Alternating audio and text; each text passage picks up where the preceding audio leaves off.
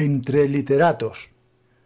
Leopoldo, tú que has leído mi última obra, ¿cuántos ejemplares te parece que puedo tirar?